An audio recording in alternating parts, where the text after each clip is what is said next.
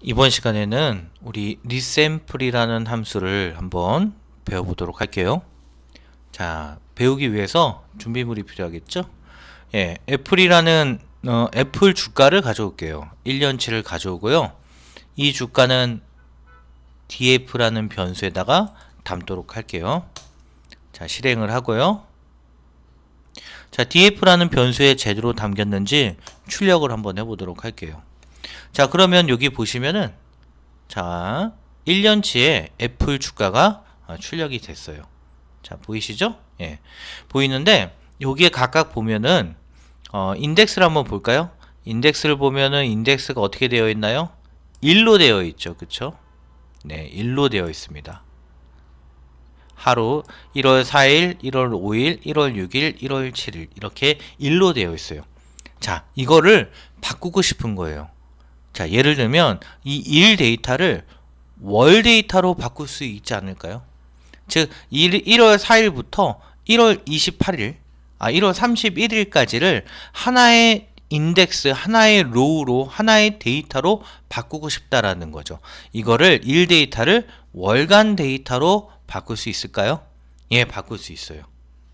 자, 또는 이 일 데이터를 시간 데이터로 바꿀 수 있을까요? 1월 4일 안에는 24시간이 있겠죠. 예. 이렇게 1월 4일에 어, 00시부터 24시까지 1월 5일에 00시부터 24시까지 해서 이 시간 데이터로 바꿀 수 있을까요? 예, 바꿀 수 있어요.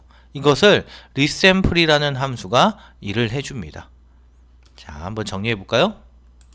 자, 예를 들면 자, 지금 현재 어, 일로 되어 있어요. 그러니까 day 일로 우리가 자료가 되어 있어요. 인덱스가. 이거를 어, 주간 데이터로 바꿀 수 있을까요? 예, 주간 데이터로 바꿀 수 있어요. 또는 월간 데이터로 바꿀 수 있을까요? 월간 데이터로 바꿀 수 있고요. 연간 데이터로 바꿀 수 있을까요? 연간 데이터로 바꿀 수가 있어요. 자, 이렇게 바꾸는 것을 자, 이렇게 바꾸면은 샘플의 빈도수가 어떻게 될까요? 자, 이거를 예를 들면 월 데이터로 바꾼다 그러면은 1월 4일부터 1월 31일까지 요만큼이 하나의 인덱스로 바꾸겠죠. 즉 빈도수가 감소되겠죠. 그쵸 예. 그래서 이런 것을 다운 샘플링이라고 말해요. 이거를 down sampling이라고 말을 합니다. 자, 또는 이 날짜를 day를 날짜를 일 데이터를 시간 데이터로 바꿀 수 있을까요? 있다고 그랬죠. 그쵸? 어, 또는 분 데이터로 바꿀 수 있나요? 예, 분 데이터로 바꿀 수 있어요. 그쵸? 이렇게 되면 빈도수가 어떻게 될까요? 늘어나겠죠. 그죠? 더 많은 데이터들이 생기겠죠. 그죠? 이렇게 되는 것을 up sampling이라고 말해요. 자, 무슨 말인지 이해가 되시죠?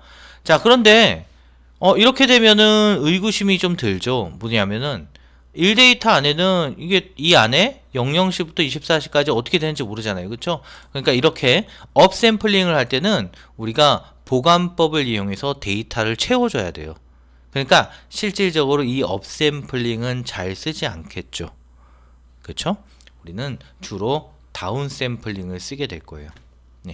네, 이렇게 down sampling을 한번 연습해 보도록 할게요. 자, 그러면 우리가 받아온 이 data frame을 가지고 down sampling 한번 연습해 봅시다. 자, 우리는 이것은 1 데이터죠?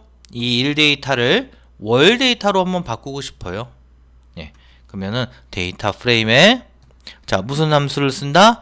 resample이라는 함수를 사용을 하고요. 인자로는 rule에 자, 약속된 어, 인자를 넘어, 넘겨주시면 돼요. 자, 달을 사용할 때는 대문자 m을 사용합니다. 그리고 자 이렇게 월로 하게 되면은 그 월의 데이터들은 무엇으로 할 거냐? 그러면 우리는 여기서 chain rule에 의해서 적절한 함수를 사용해 주시면 돼요. 자, 뭘 한번 해볼까요? 평균을 한번 해볼까요? 그러니까 월의 평균 값을 한번 내보고 싶어요. 한 달, 이 한 달치의 어, close, 종가의 평균, 시가의 평균, 고가의 평균, 저가의 평균, 거래량의 평균. 자, 이것을 한번 구해보고 싶다. 그렇다면 민이라는 함수를 사용하면 되겠죠. 자, 보면은 예, 제대로 출력이 되는 걸 알 수 있어요. 여기 있는 나와 있는 의미는 뭔가요? 그렇죠? 1월 한 달간의 종가의 평균들이에요. 자, 시가의 평균 이렇게 되죠. 자, 그러면 가만히 보면은 이 한 달에 어, 말일로 찍혔죠? 2월 28일. 2월에 말일로 찍혔어요. 자, 그러면 초로 찍으려면 어떻게 하면 될까요? 예, 여기에 있는 요 인자. 그죠? 자, 여기에 있는 요 약속된 인자에 다른 어, 인자를 넘겨 주시면 돼요. 자, 어떻게 하면 될까요? 리샘플 그대로 일단 찍을게요. 리샘플을 하고 룰에 무엇을 한다? 자, MS라고 하면 자, 월초가 찍힐 거예요. 여기에 아, 평균을 한번 해보죠. 자, 실행을 하면 자, 보이죠? 네. 자, 어떤가요? 월초가 찍혔죠? 다 1일로 찍혔어요. 자, 이렇게도 활용을 할 수 있어요. 한 번만 더 해볼까요? 네. 데이터 프레임에 리샘플 함수에 자, 룰에 룰은 여전히 월로 할게요. 대문자인 거 주의하시고요. 자, 최대값을 한번 찍어볼까요? 그러니까 우리는 한 달 동안에 이 종가, 시가 이 데이터들의 최대값을 한번 찍어보고 싶다. 그러면은 실행을 하면 잘 출력이 되는 것을 확인할 수 있어요. 그렇죠? 예. 그러니까 얘는 이 1월 한 달에 이 종가의 가장 최대값이 찍혔다라는 얘기가 돼요. 자, 무슨 말인지 이해가 되시죠?